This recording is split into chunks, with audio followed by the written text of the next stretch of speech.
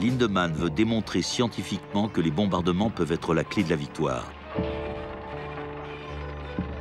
Il analyse pour cela les milliers de données collectées dans les ruines du Blitz. En mars 1942, il adresse à Churchill ses conclusions dans un mémo d'une page.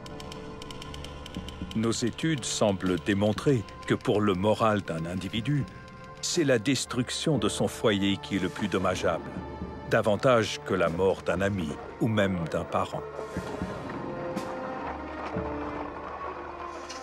Nombre de maisons détruites par tonnes de bombes. Quantité de bombardiers disponibles. Répartition de la population urbaine allemande.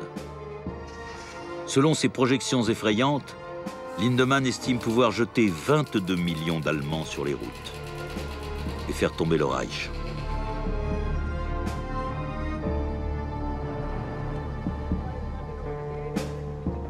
Dans l'entourage du Premier ministre, on juge ces calculs totalement fantasmagoriques. Mais le prof a réussi à convaincre Churchill.